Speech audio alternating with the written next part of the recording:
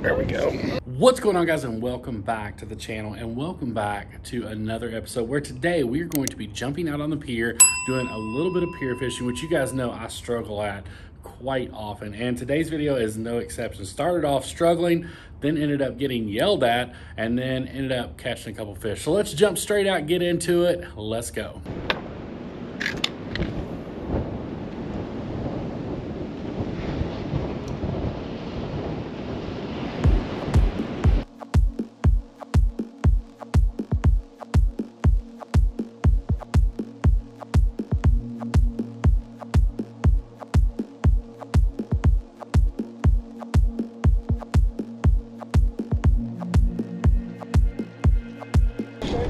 Says who? Yes, I work here. Okay.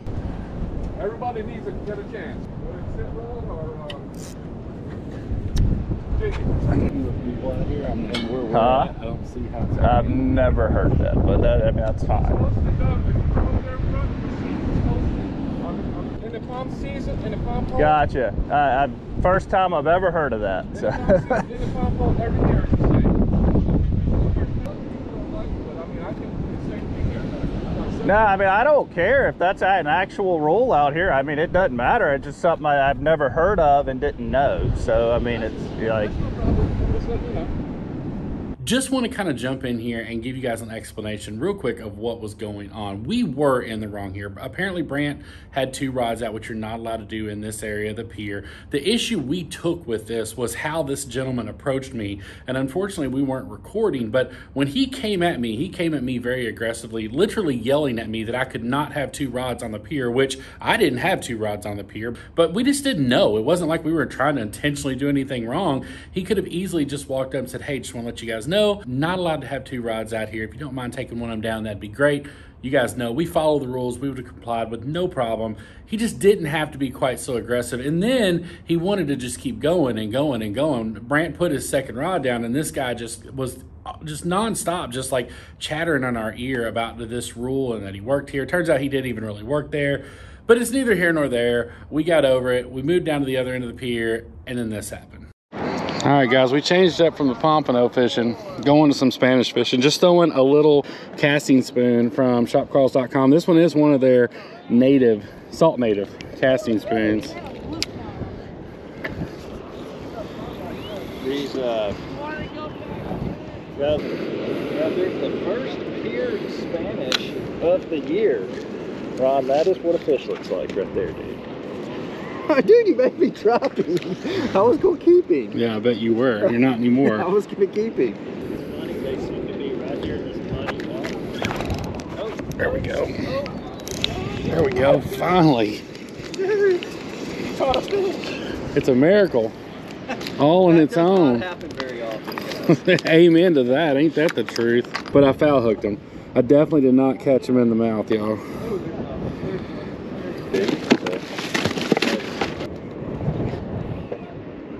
Ooh, he's on it. He's on it. Ooh, come on. Come on. There we go. Fish on, guys. They're on them. on again, dude. Oh, lost that one. So, guys, they're staying in this muddy water. It's a little strange. is strange because we've got clear water right out here, Yeah. and the fish are biting in the mud. It's it's weird because normally these Spanish you wait for clear water to move in, but these guys are definitely liking this muddier water today for sure. I do want to let you guys know that today's video is sponsored by our good friends at Karl's Bait and Tackle. And if you're not familiar with Karl's Bait and Tackle, it is an online retailer where I get a lot of my fishing tackle, whether it be terminal, lures, cases, whatever. And I told you guys in the Karl's video last month that one of my favorite things from Shop Karl's is their casting spoons. And that's exactly what we're gonna be using today on the pier when we start targeting Spanish. We're gonna start off targeting some Pompano, then we're gonna switch over to Spanish. When we switch over to the Spanish, we're gonna be throwing some casting spoons from Salt Native that I got at shopkarls.com. You can check out the link in the description down below. If you become a Karl's Club member, you can get $10 off your first order of $25 or more if you use the code CMRON10. So y'all click on the link down below, go check them out. Now let's get back to fishing.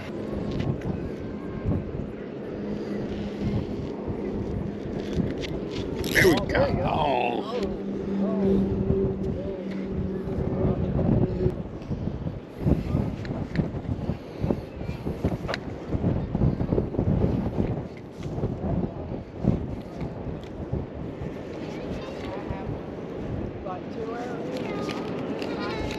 There we go. Another fish on, guys.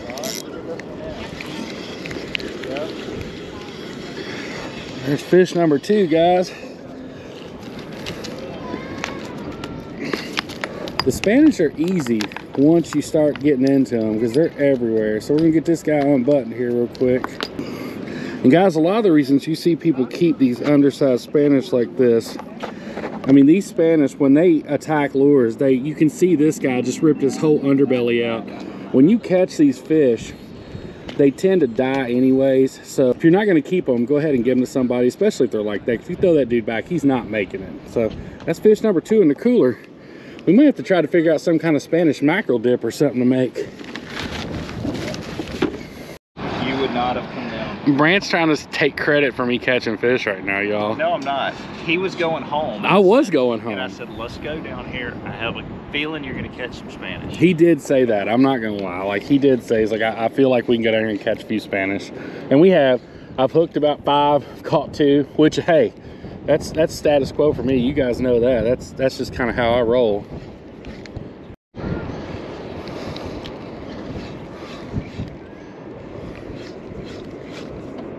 Ooh, you got it. You got I got him. There we go.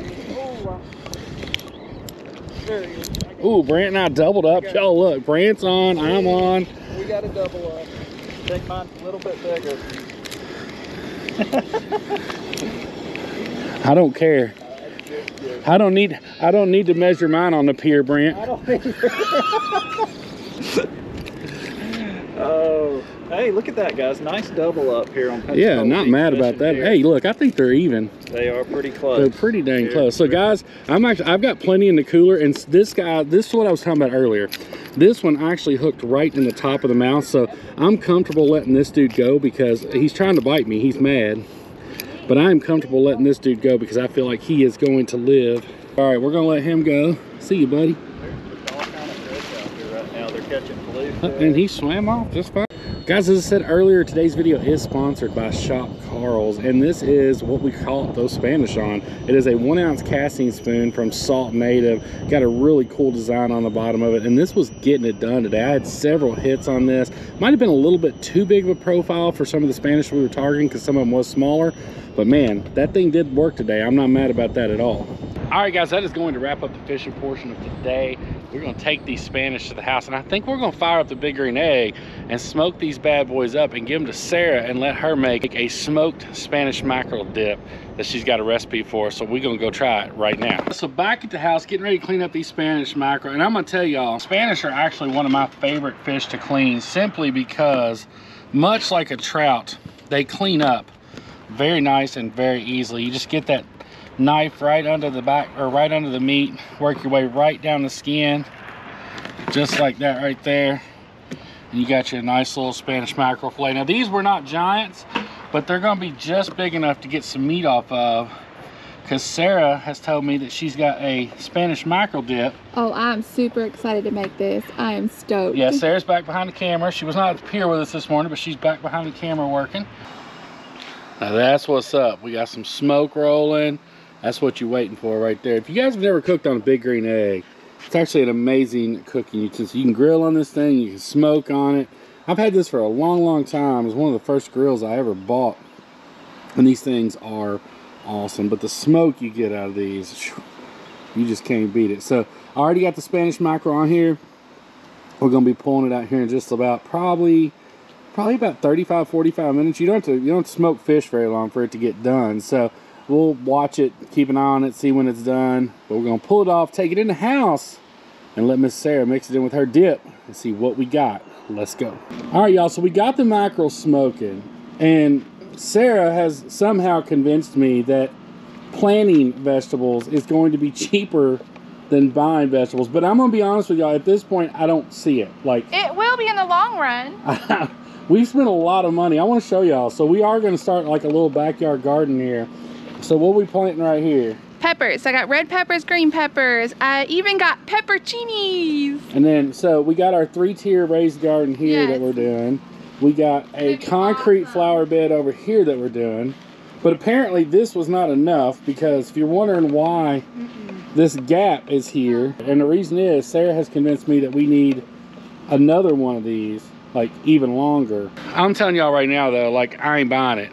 So y'all just gotta stay tuned to see if we ever actually pull anything. Like we tried a garden the first year we moved here and it didn't go so well. Like I'm just gonna be, we put it literally under the eave of the house and it drowned it and we just, we didn't, it didn't go well. So y'all just got to stay tuned to see if we actually pull something out of these gardens that we can use because I have my doubts.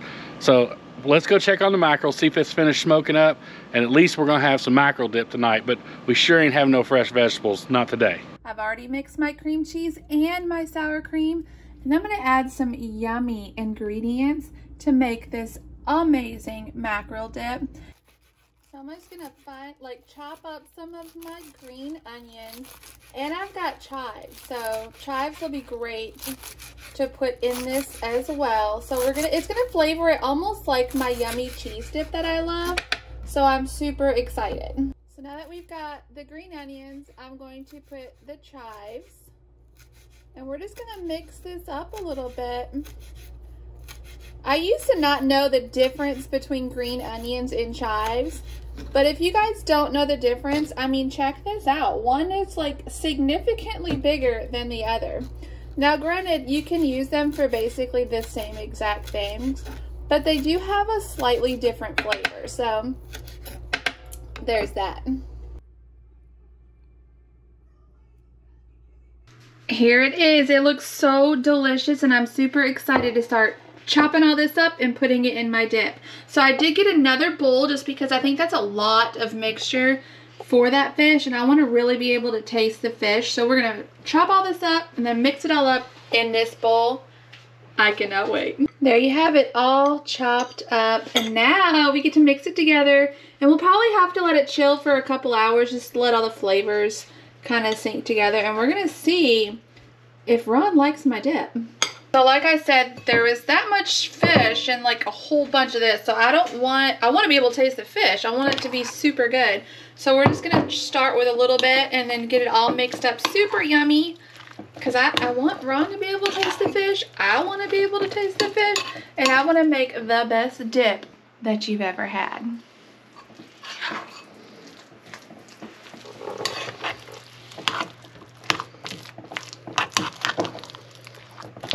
Smells like tuna salad.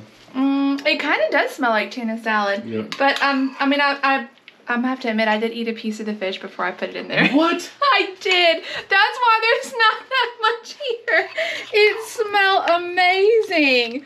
So I think I, I think I did the right thing because this looks like you can still kind of see it. If you look, you can still kind of see the fish and all the ingredients. So we're gonna let this sit for a couple You hours. got, you got a waiter down here, like she's literally sitting at your feet. Mila, you think you getting some foods? You think you getting some foods? I already Pe- mixed it. People on the channel want more Mila. I don't know. You, What? What? you think it's gonna be good? You think it's gonna be good? What you got? Um, well, babe, since you're not, you're gonna like this, but you're gonna love it because I got you the best cracker ever to put in this. Who's over there? Why are you like ever chicken biscuit? Chicken biscuit. Chicken Yo, biscuit that's like my favorite two things in the whole wide world. You know, besides Sarah, chicken and biscuit. Yes, it's gonna be so good. Like That I got these, good. and then I got some veggie crackers, and it's gonna be delicious. But first, let's let Mila sample a chicky biscuit. Ready? it's gonna be good. Well, you didn't make her do anything. Oh, you me to make her do something? Sit. Show them what she'll do. Sit. Good girl. No. Good she sat. Make her fist bump. Yes, my girl. yeah, That's my fist homie. bump. Good girl. Yes. Speak. Speak. Speak. Yeah, that's right. You do what I say. So wait, fist bump, get you chicken and biscuit. it worked. That's good. You ready for this, baby? Girl, you gotta stop trying to make people think we're something we ain't. What? We're being fancy. Look. Yeah, I know. This is like two meals in a row that you try to be all fancy. What is this? Our char- It's a smoked mackerel charcuterie charcuterie. board. Char- how you say it? charcuterie. Charcuterie. Shark. Charcuterie. Mm-hmm. Kind of like that. All right. So I'm not gonna lie to you. I'm a little nervous about the Spanish mackerel dip. Because I'm not big on like dips and stuff most You're of the not. time. So, but Sarah did make Yes. or make. She did not make. Homemade, Sarah bought some chicken biscuits, and those are good. I do know that. So, Yes, but I do have like a Cajun uh, smoked uh, cheddar cheese that I got from Aldi's because we're Aldi's. yeah, we have an Aldi's now. Um, drop a comment down below if you've ever been to Aldi's. That store is pretty nice. So, all right, we're just gonna try. I will say, when you were making it, it smelled a lot like tuna salad. It so, did. It really did. And I added a few little Cajun it still spices in smells like too. tuna salad. So,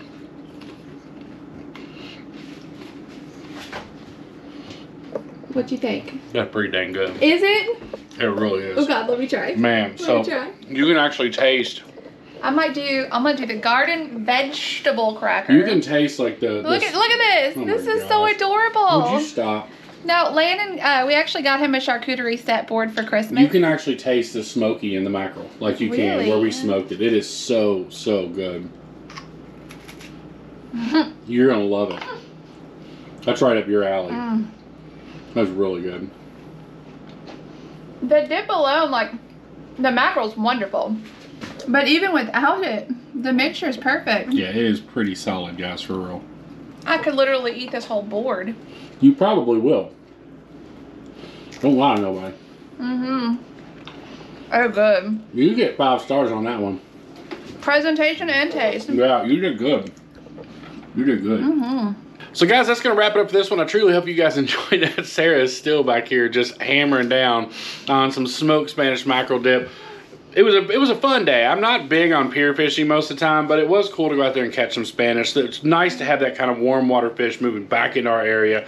So an awesome day all around. I am not mad about it. Guys, I truly hope you enjoyed this. And if you did, make sure you give it a great big thumbs up. I appreciate everybody sending in the youth angler photos and pictures. I did want to let you guys know I have figured out a way to download them from Instagram. So if you want to send those to the Cameraman Ron Instagram, I've got that linked in the bottom description box below. You can either email them in or you can send them via Instagram either one. You do need to make sure you follow us on Instagram if you're going to send them because they won't come through if you don't. So and make sure you're sending those videos and pictures in. We greatly appreciate it. Guys, if you're new here to the Cameraman Ron channel, uh, this is the kind of stuff we do. We go out, we catch fish, we cook it, we eat it, and we just have a good time. Did you want some more? I can eat it all. Sarah is about ready to smash this whole board. Y'all, I'm going to get back over here and try to eat some food before she kills it all. If you are new here, make sure you smash that subscribe button 2022 style. We can't wait to see y'all on the next one. Y'all take care. We'll see you soon.